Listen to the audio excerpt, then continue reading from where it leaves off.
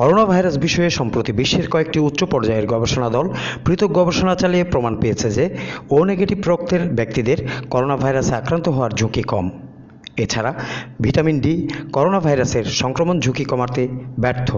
অপর এক গবেষণায় জানা গেছে, প্যানাপ্টোসিস নামক এক প্রদাহজনক কোষের মৃত্যুর ফলে সাইটোকাইন্স বা প্রদাহজনক প্রোটিনের যে ঝড় শুরু হয়, তাই কোভিড নাইন্টিনে গুরুতর অসুস্থ হওয়ার কারণ।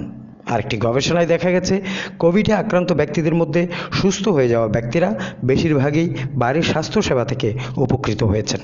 এসব বিষয়ে রয়টার্সের এক বিশেষ প্রতিবেদনে বলা হয়েছে দুই লাখ পঁচিশ হাজার পাঁচশো ছাপ্পান্ন জন কানাডিয়ানের ডায়াগনোসিস রিপোর্টের উপর ভিত্তি করে জানা গেছে, ও নেগেটিভ রক্তের ব্যক্তিদের কোভিডের উচ্চ ঝুঁকি সবচেয়ে কম।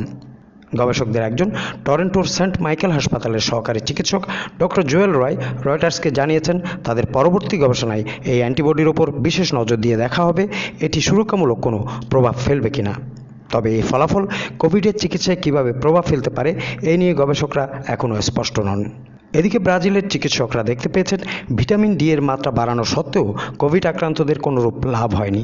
এ বিষয়ক এক আন্তর্জাতিক গবেষণাপত্রের লেখকরা বলেছেন যে ভিটামিন ডি পরিপূরক গুরুতর কোভিড নাইন্টিনে আক্রান্ত হাসপাতালে ভর্তি হওয়া রোগীদের মধ্যে হাসপাতালে থাকার সময়সীমা কমাতে বা কোনোরূপ ক্লিনিক্যাল ফলাফলের উন্নতি করতে ব্যর্থ হয়েছে।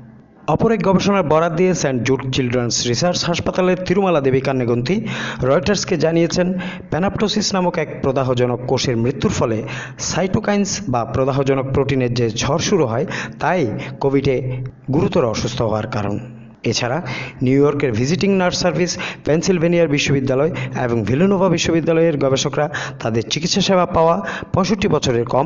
এক হাজার চারশো নয় জন রোগীর উপর গবেষণা চালিয়ে দেখেছেন, কোভিডে আক্রান্ত হওয়ার পর বেঁচে যাওয়া ব্যক্তিরা হাসপাতাল থেকে ছাড়া পেয়ে বাড়ির স্বাস্থ্যসেবাতেই লাভবান হয়েছেন সবচেয়ে বেশি।